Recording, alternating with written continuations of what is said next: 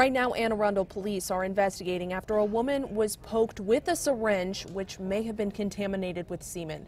Anne Arundel County Police arrested Thomas Bryon Stemen and he's accused of poking the woman with the needle at a Churchton grocery store. Surveillance video shows the woman putting her grocery cart away before she starts yelling.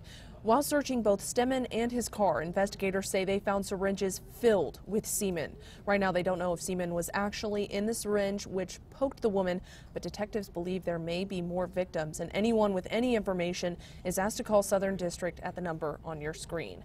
Katie Johnston for WJZ.com.